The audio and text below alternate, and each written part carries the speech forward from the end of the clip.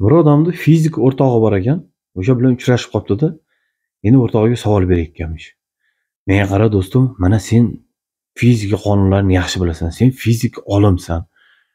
Menga shu tushuntirib berchi ko'p narsa shu tushib ketsa pastga yerga misol uchun odamni qo'lidan tushib ketishi shu qanaqadir fizika qonunlariga asoslanadi.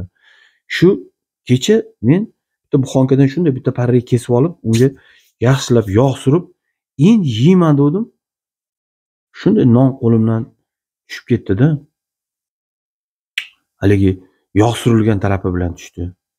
Keyin yeyolmadim. Shu haligi nonli tarafi bilan tushsa bo'lmaydimi?